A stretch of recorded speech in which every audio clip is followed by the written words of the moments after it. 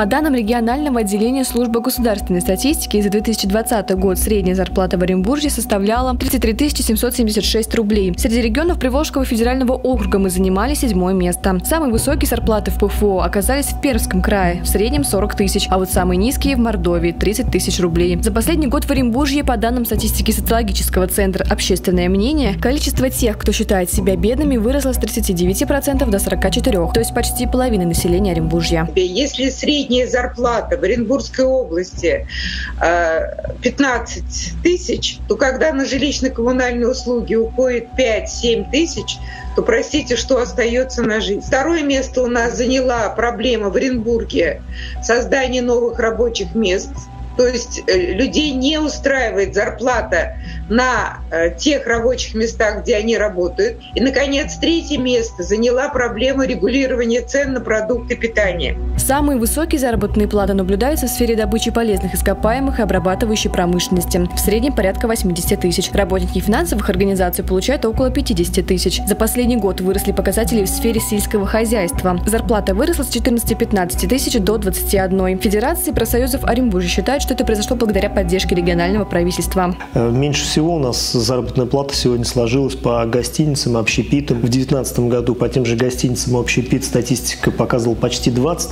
то сейчас 17 900. По сути, просели почти вся сфера услуг.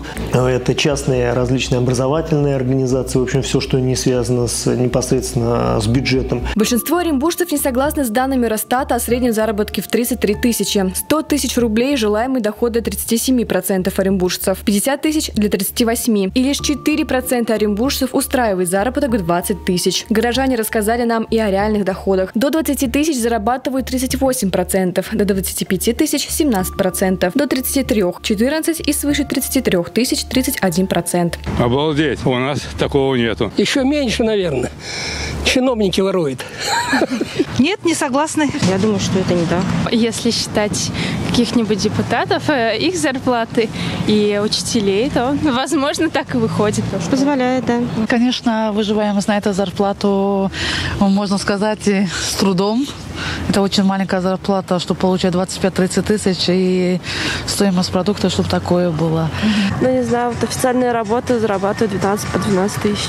Да у нас ерунда, 15 тысяч. Вам хватает на жизнь? Конечно, нет. А почему? Надо, вот надо, ну, хотя бы тысяч 40-50. Сколько в Москве? И тогда у нас должна быть чая. Почему Москва, не Россия?